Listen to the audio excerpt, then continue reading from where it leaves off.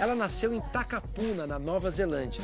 Assinou seu primeiro contrato aos 13 anos e aos 17 se tornou uma verdadeira diva mundial.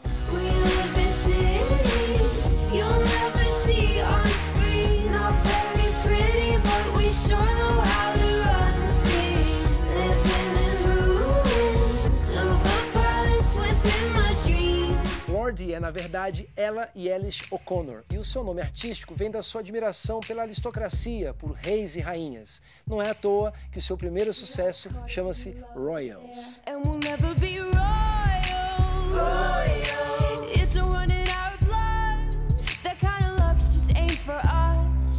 Crave a different kind of buzz. Let me be your.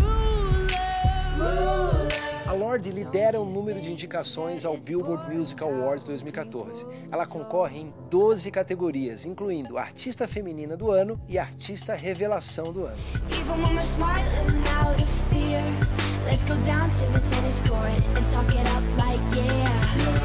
No dia 18 de maio eu vou estar ao vivo comentando essa festa incrível.